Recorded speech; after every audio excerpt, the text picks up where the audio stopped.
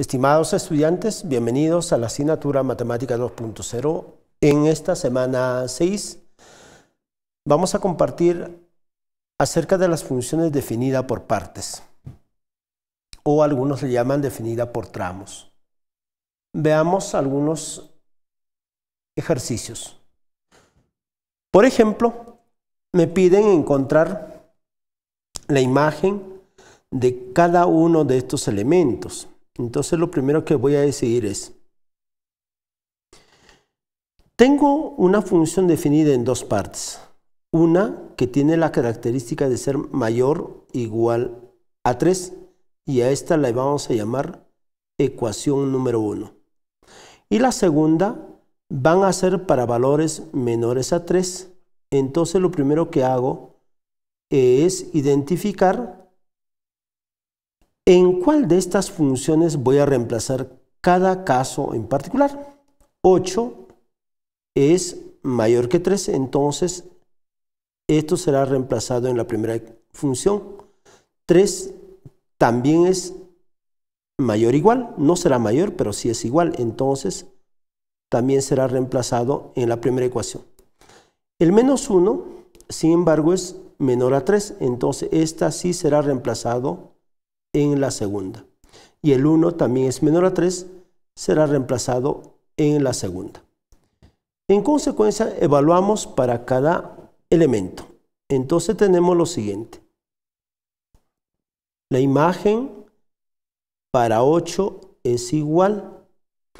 Hemos dicho que voy a reemplazar en la primera ecuación, entonces la primera ecuación es x menos 1, quiere decir 8 menos 1 de donde la imagen de 8 resulta siendo 7.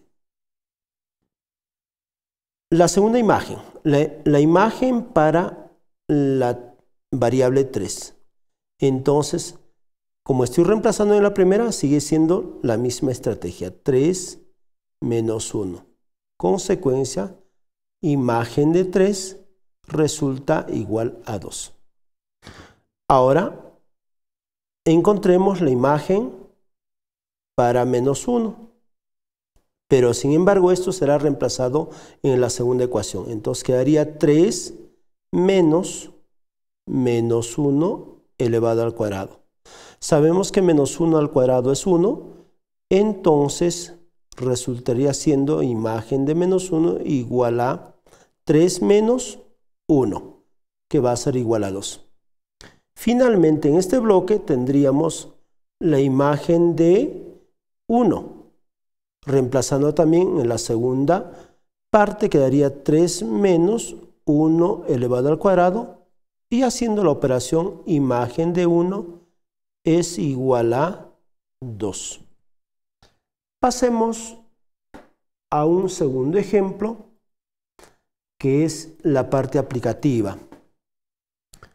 Vea, me dice, un teléfono celular cuesta 48 dólares al mes. Obviamente el pago.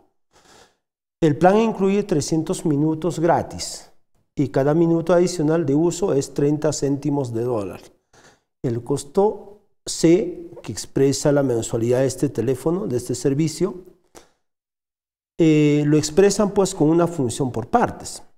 Entonces, en ese caso me piden que yo encuentre primero tres casos cuánto yo pagaría si es que hago uso de empleo 100 minutos. ¿Cuánto pagaría si es que empleo 200 y cuánto pagaría si es que empleo 600? Vamos entonces a evaluar cada caso. Entonces digo, si nosotros empleamos 100 minutos, digo, el costo por los 100 minutos será igual a quién.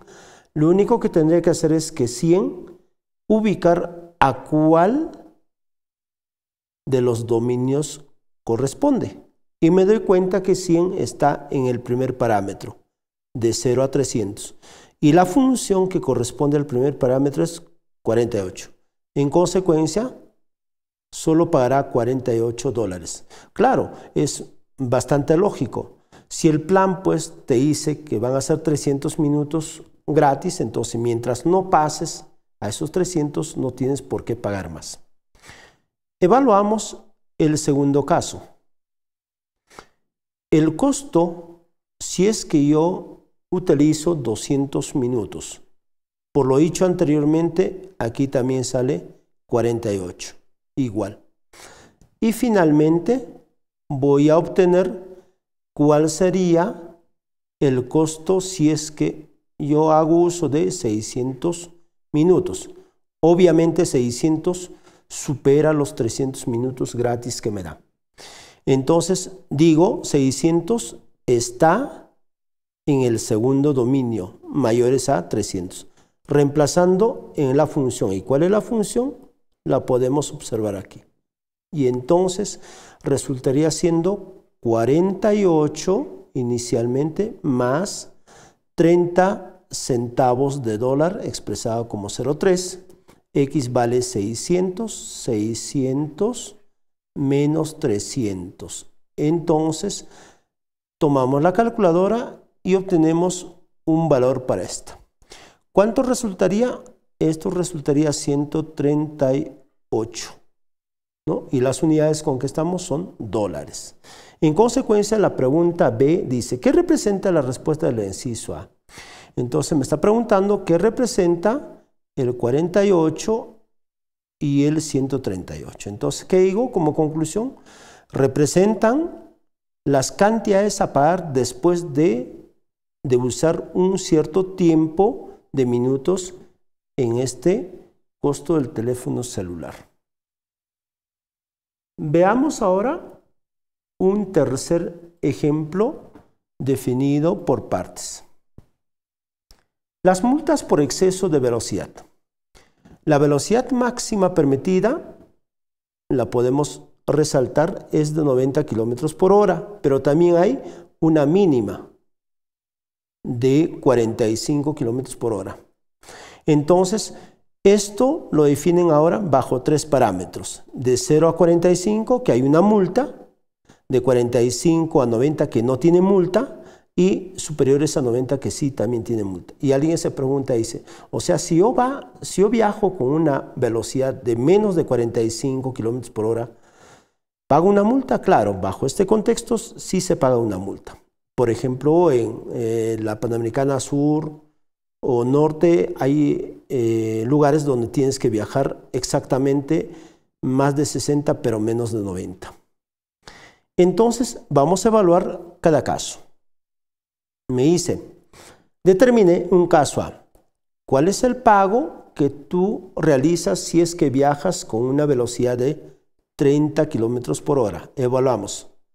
30 corresponde a la primera función, al primer rango, ¿sí? De 0 a 45. Ahí está 30. Por lo tanto, reemplazando quedaría 35 que le multiplica a 45 menos el valor de x que resulta siendo 30. Tomamos la calculadora y obtengo un resultado de 35 por 15 que me sale 525. Evaluamos ahora un segundo caso.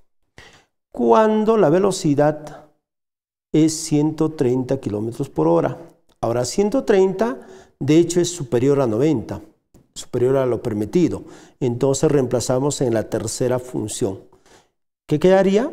35 que le multiplica a 130 menos 90.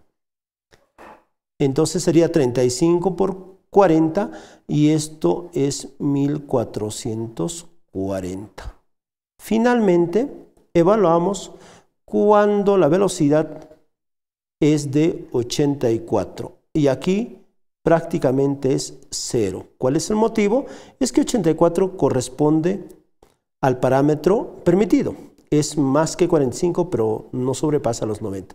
Y entonces él no tendría que pagar multa alguna. Entonces, ¿qué es lo que me pide por aquí? En la B pide que representan las respuestas del inciso A. Entonces, ¿qué digo? ¿Qué cosas representan cada uno de estos valores obtenidos? Esas son las multas que yo tengo que pagar si es que viajo con estas velocidades al cual están haciendo referencia. Muchísimas gracias.